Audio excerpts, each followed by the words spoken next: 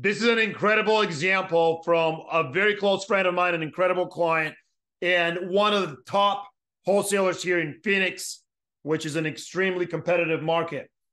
What this wholesaler did is found this incredible deal.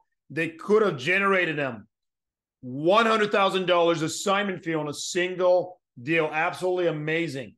Most people would jump right on it, take that $100,000, pay the max tax, which between federal and state income tax is over 40%. But instead, this wholesaler decided to use the Diamond Wealth real estate system to eliminate his taxes while retaining the asset and getting generational self compounding wealth for him and his family.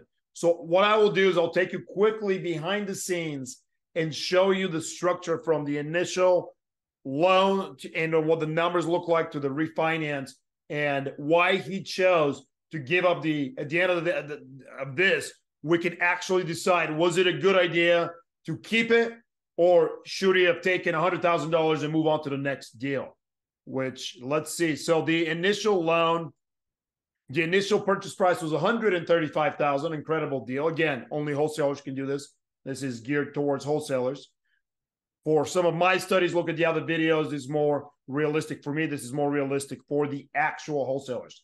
So this wholesalers realizes what the DCR is, the diamond cost range, what the ARV will be after he fixes it up and does the value add, which is the after repair value.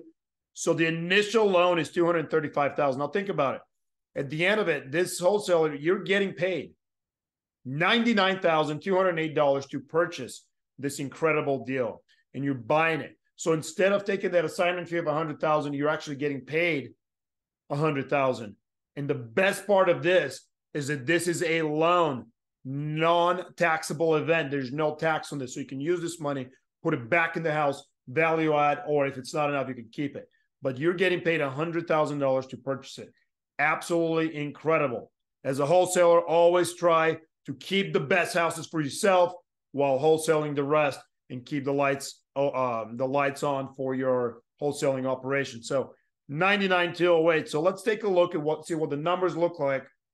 And at the end, figure out was it a good idea or not. He bought it for 135, some closing costs. The initial loan, the initial hard money loan was 235. So 98,208 was the cash back at close.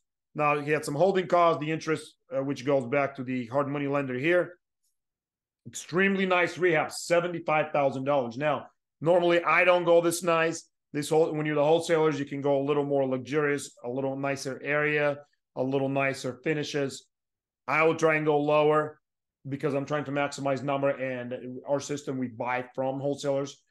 So when you're the wholesalers, you can do this. Same goes with the appliances, sixty-two hundred dollars for a nice set.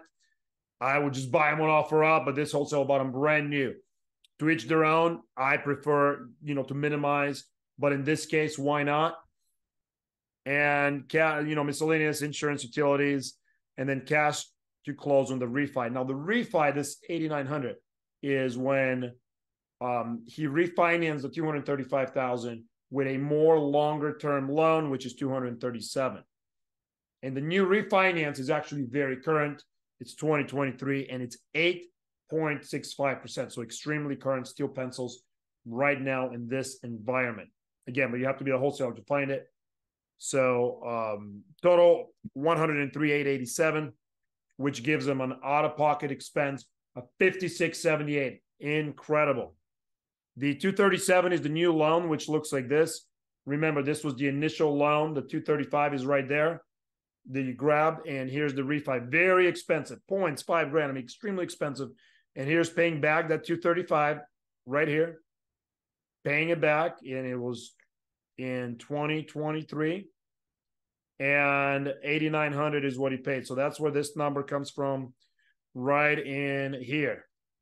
So interest only payment 865. It doesn't make sense to have a principal pay down right now. It's we're maximizing the cash flow for the time being if and when the rates drop in a year, two or three, we can then refinance and go from there. But for now, we're going to pay the 865 and our total holding cost with tax and insurance 183302 Rental is 3000 which gives it a monthly cash flow of $1,166.98 or over $14,000 annually. Incredible 247 annual cash from cash.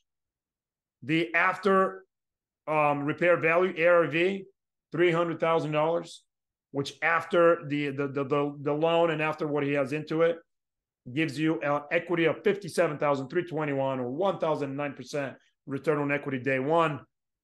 He's not going to touch it. It's we, we're into this for the long haul. Never ever sell your real estate. So it's incredible. And what I did here is a five and a half percent prediction of annual appreciation. I believe it's very conservative, but it's it's a it's a it's a prediction. It's uh, a given at five and a half percent for Phoenix conservative, which means that after year five, this asset could be worth three hundred ninety-two thousand and eighty-eight dollars.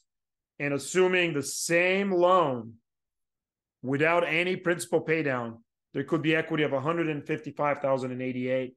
At which point you can 1031 exchange, you can pull out the cash, as long as you don't sell it.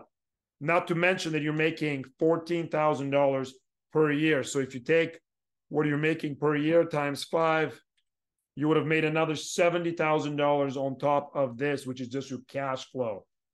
Nothing like it. And as you can see, there is a reason why he gave up a single payment of $100,000, which is just a job. Wholesaling is a job, and the best way to escape that rat race is to buy and hold the asset. And buying and holding the asset with a diamond wealth real estate system is the best way to escape it.